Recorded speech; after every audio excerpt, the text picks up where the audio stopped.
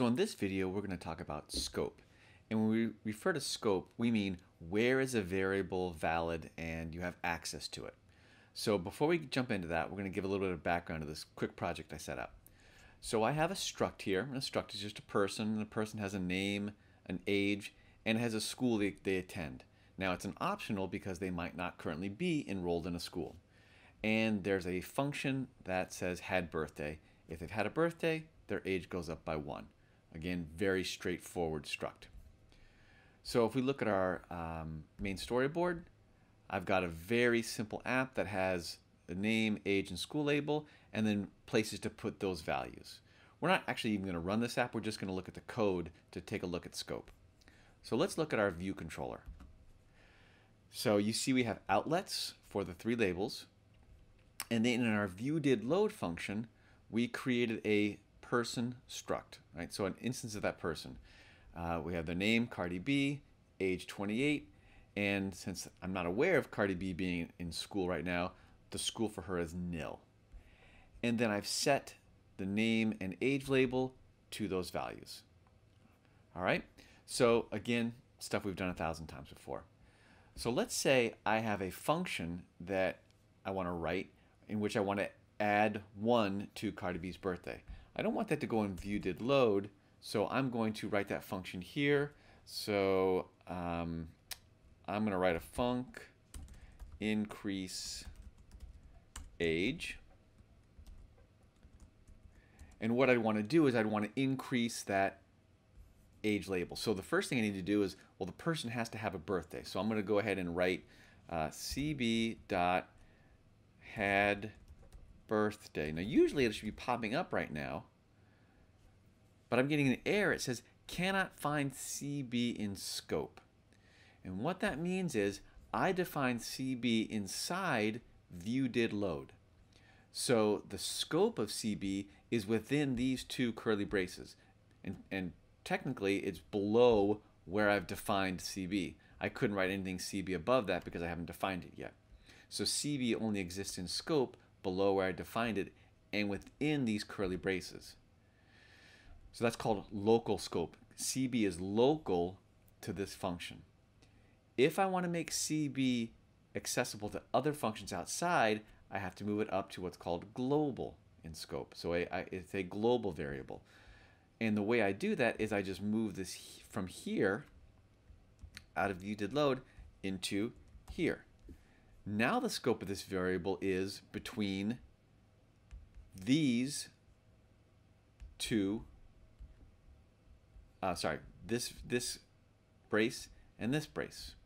And I'm going to actually make this a var so I can change the, variable, the variable of it. Okay. And because I haven't written the, the parentheses, I got to add those parentheses to make those errors go away. So notice now I can access CB because the scope, this variable now is a global variable. So anywhere between these two braces, I can access it. And this function is within those two braces. So by changing the scope, it changes what can access that variable. Right? So local scope refers to inside a function. Global scope refers to accessible inside the whole class usually. So let's talk about a principle called shadowing. And shadowing is when you use the same name in two different scopes. So oftentimes you see that uh, when you write structs and you write initializers for structs. So we know that when you write a struct, by default, Swift will create a, member-wise initializer for you, so it'll automatically set up an initializer for these three values. But you are free to write your own. So I'm going to go ahead and do an init. And what I'm going to do is I'm going to use the parameters of name, whoops, string, age, which is an int, and school, which is a string uh, optional.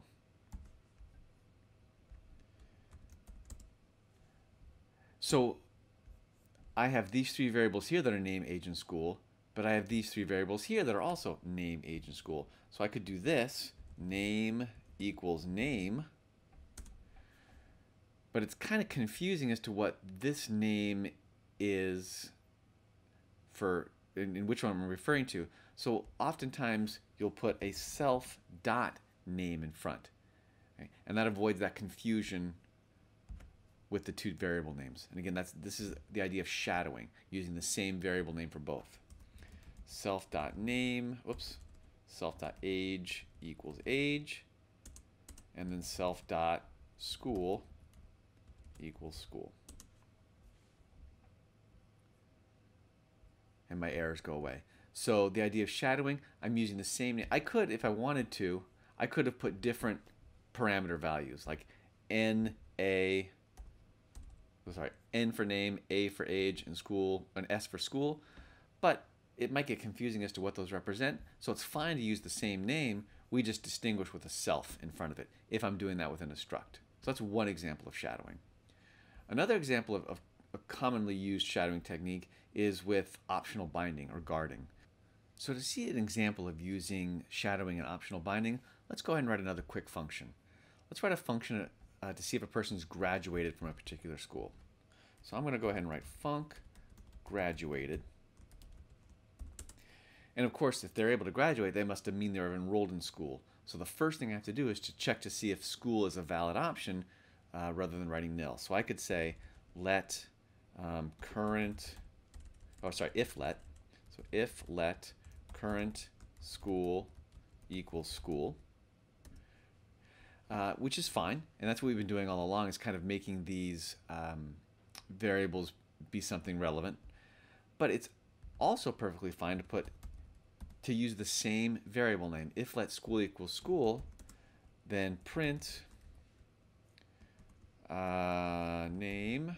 Whoops, forgot to put the parentheses. Graduated from school. And so what this is another example of optional binding. So if I can unwrap school to a valid value, I print name graduated from school. And this school is this variable here. Okay, you see that they match up. So that's an example of shadowing. I'm using the same variable just to make it more to more make it more readable. So hopefully that explains a little bit about scope. Remember that it defines where a variable uh, is valid and you can access it from.